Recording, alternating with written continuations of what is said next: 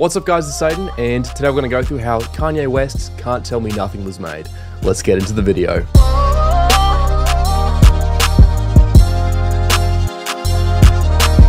As many of you might know, we're celebrating the channel hitting 200,000 subscribers today. So we have four remakes coming out tonight. First one is Can't Tell Me Nothing. Second one is an identical remake of Out West. Third one, Drake's Headlines. And fourth one is No Bystanders by Travis Scott. So come along with me on this journey as we explore all four of these songs. Can't Tell Me Nothing was originally produced by DJ Toomp and Kanye West. We have a bunch of identical samples from the original song to show you guys today. So definitely stay tuned to see what samples Kanye used in this song. These four videos are sponsored by Cymatics. Thanks so much to them for making these videos possible, and they've given us an insane deal today, exclusive to my viewers. It's their Ultimate 808 bundle, and as you can see, they've put an insane discount on it. So we have their Thunder 808 kit, their Mayhem Premium 808s, their Goliath 808 collection, their Lethal 808 samples, 808 Essentials, and Vortex 808 Enhancer, all for just 25 bucks. So if you're looking to upgrade your 808 game, this is the time to do it. So you have over 300 808 samples just for 25 bucks, an insane deal right now. Go check them out in the description below. Anyway, let's jump into the remake today. Let's start off with these weird synth chords that play throughout the entire song.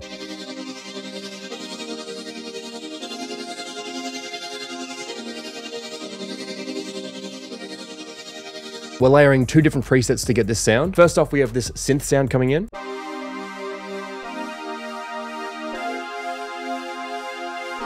Really cool sound from Jun-6 V, and I modified the classic Rode preset. Then we're layering that with this preset from Omnisphere, the Holy of Holies pad, which is a preset that I like to use in my own beats. And that's gonna sound like this.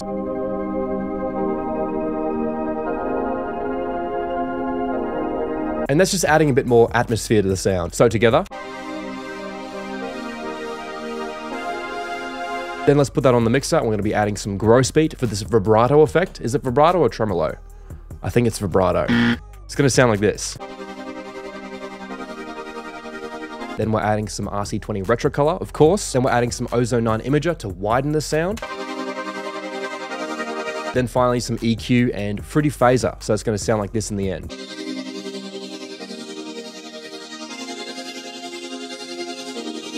Then we're layering that with some brass.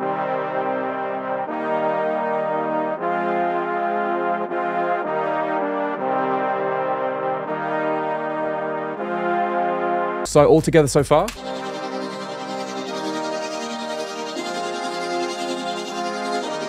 And as you can see, there is a switch up in the brass.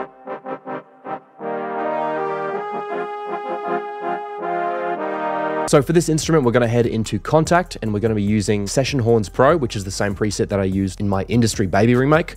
Leave a link to it up there. So for this preset, we're going to be layering two combinations. So we have a brass trombone, a tenor trombone, and two trumpets. This is what it's going to sound like without any effects.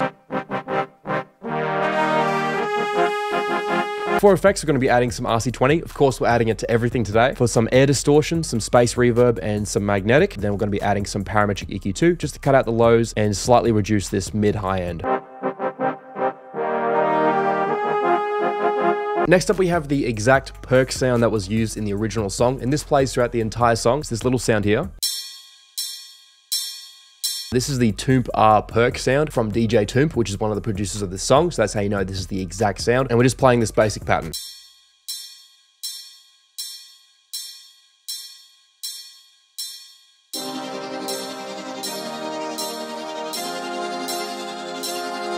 And I really like the idea of having this sort of crashy perc sound that plays throughout the entire song, like helps people get into the groove. Definitely think I'll be incorporating this sort of stuff into my own beats in the future. And for effects, we're adding a high pass filter and some fruity chorus.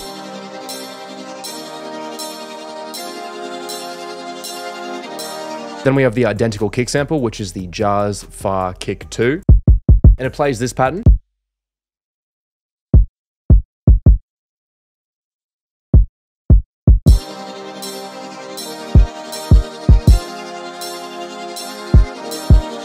Then we come in with this snare, which plays pretty softly in the mix. It's going to sound like this.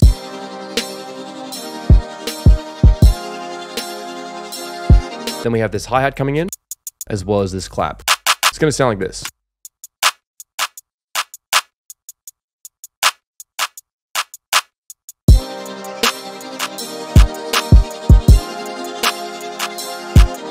Then we have this synth bass coming in from Repro 1.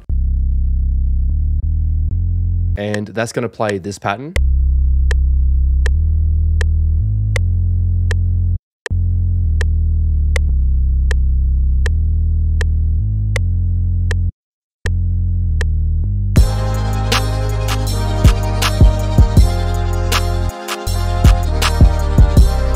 What's up guys, it's Aiden from The Next Day. I wanted to add one more part to this instrumental that I think is really important to the song, which is the female vocals from Connie Mitchell. We don't have Connie Mitchell coming in today, but we do have my good friend Dash, who's a female singer, coming in to do the female vocals for us. Hello.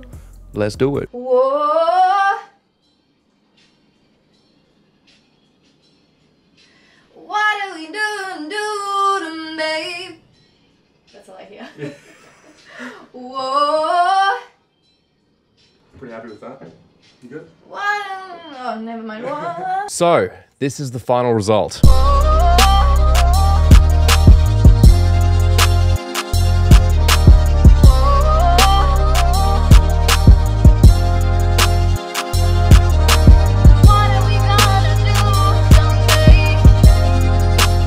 Unfortunately, we couldn't get the Shazam comparison today, but I feel like the instrumental was very close and it sounds really dope. So anyway, that's it for the remake. Uh, we have remake number two.